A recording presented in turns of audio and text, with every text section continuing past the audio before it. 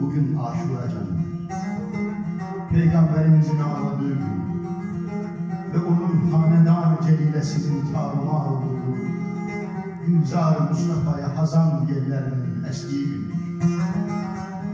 Kalbi peygamberle çarpanların, peygamberle ağlayıp onunla gülenlerin yaz günüdür. Selam sana ey şehitler serleri. Selam sana ey hürriyetin piri.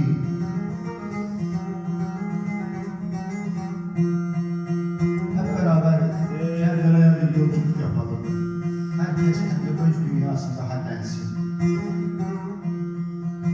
İmam Hüseyin'in ashabı sırasıyla izin istediler ve çıkıp kahramanca savaşıp şehadetleriyle Kerbela destanını yazdılar. Alemdar Abbas savaş meydanına çıkan tüm şehitleri izledi. Yürek dayanırdı bu sahnelere. Ama dayandı Abbas'ın yüreği. Sıra kendine gelene kadar. Kerbela'nın alemdarı, sancağı taşıyan sancaktarı, çadırların koruyucusu,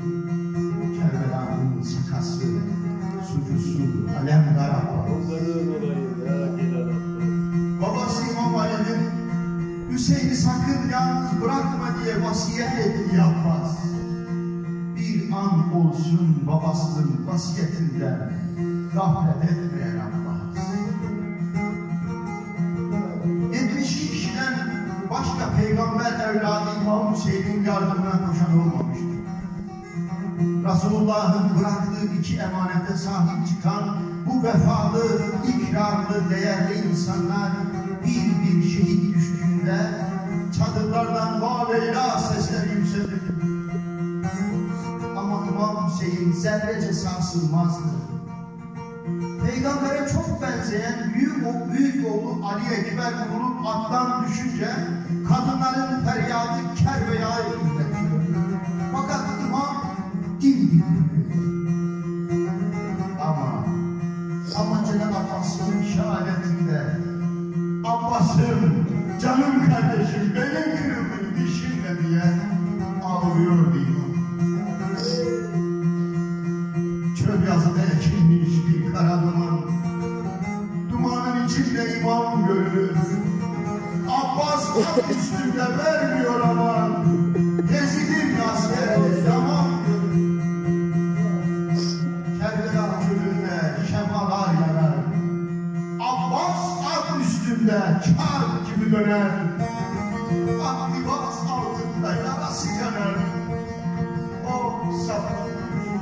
Yeah,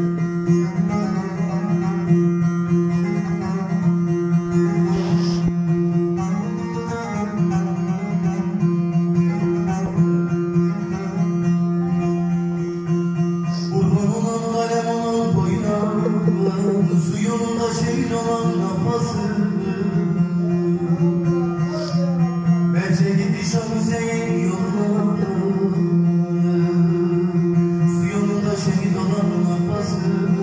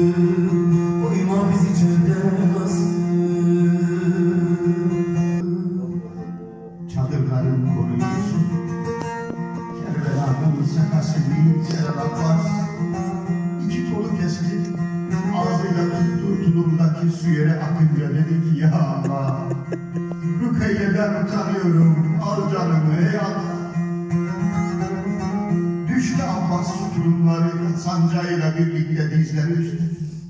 Seslendim ağabey, gücüm kalmadı gelemiyorum.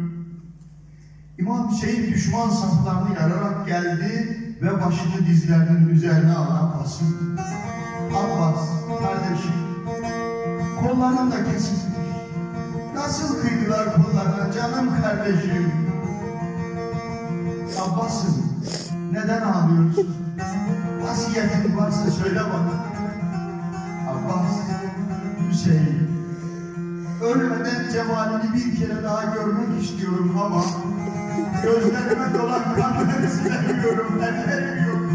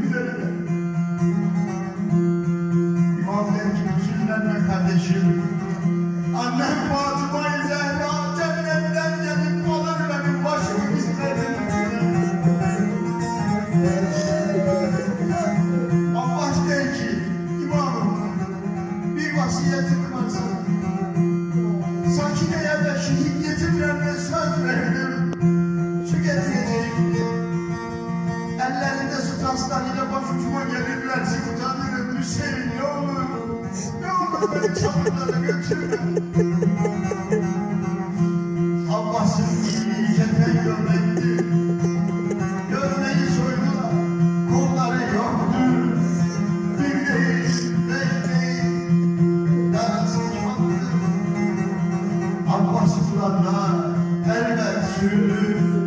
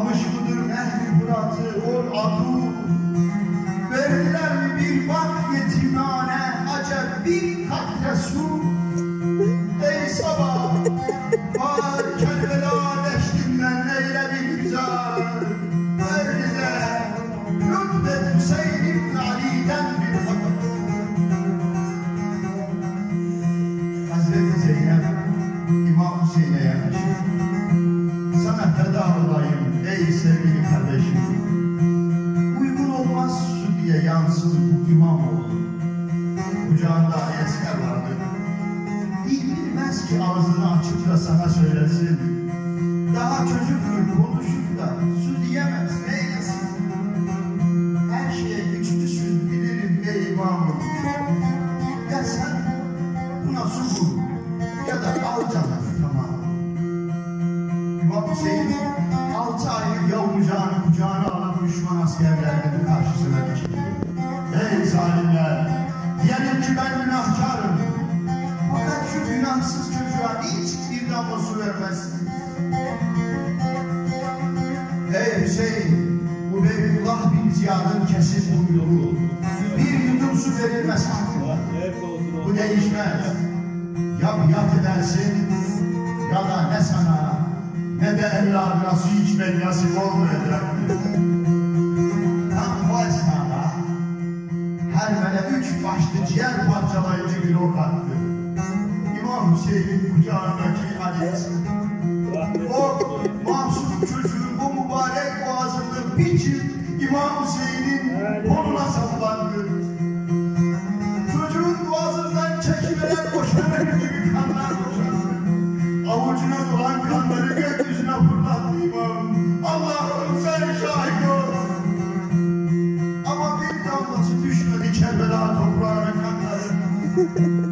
Havaya yükselen kanlar Kızıla boyadı gökyüzünü. O günden sonra güneş doğarken ve bakarken kızıla bölündü.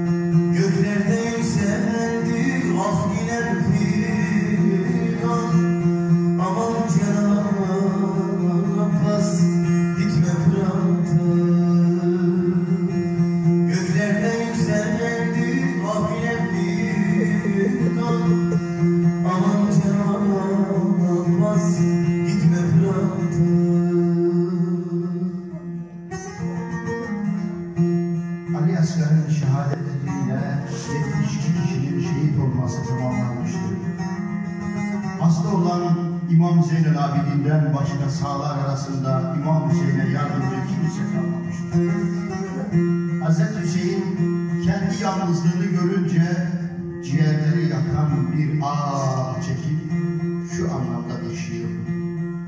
Ne yazık şu zaman evinde bir yar kalmadı. Ne gram yoldaşı ne dost bir vefalar kalmadı. Bela tuzağından ancak vefa ehli kurtuldu. Benden başka dinleyen bir ağlayan babasının yalnız kaldığını görünce kendini zorlayarak yatağından dışarı çıktı. Çok zayıflamış ve titriyor. Kılıcını kuşanıp tam meydana yürümeye hazırlanırken İmam Hüseyin ey gözümün nuru şimdi sana şehitlik izni yoktur. Çünkü Beyt ve Seyyidlik silalesi sana bağlıdır. Mustafa'nın ve Murtaza'nın soyunun bekası senin sağ kalmana bağlıdır dedi. İmam Hüseyin'in oğlu Zeynel Abidin, Zeynel Abidin'in yanına gidip ona dede ve atalarından yadigar kalan kutsal emanetler teslim etti. Bunlar İmam Ali'nin yazdığı açıklamalı Kur'an, Fatıma'nın Mushafı, Cifri Ebyaz, Cifri Cami ve baki ilimleri ki bunları imamlardan başkasının teslim edip, onu da Hakk'a teslim edip emanet etti. İmam Hüseyin emanetleri oğluna teslim ettikten sonra cennet ziyafet hanesine girmeye kararlı olduğunu göstererek dostlar, dostların düğüne gittiğinde süslenmek gerekir deyip çadırına. Meydanın tozundan güzel yüzünü ve mübarek saçlarını temizledi. Elbisesini yeniledi. Resulullah'ın Resulullah'tan kalma sarığını çözdü, yeniden bağladı. Şehitler Seyyid-i Hamza'nın kalkanını omuzuna yerleştirdi. Ali Murtaza'nın zülfikar kılıcını takıldı. Yine Resulullah'ın Zülcenah adındaki şimşek yürüyüşlü atına bindi.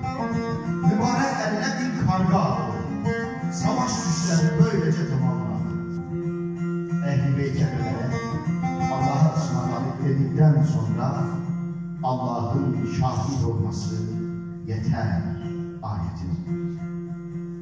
Cenk alanına varınca can alıcı kargısını toprağa sapladı. Üstüne dayanarak şu uzun şiiri okudu. Babam Allah tarafından halk içinden seçilmiş ve arınmış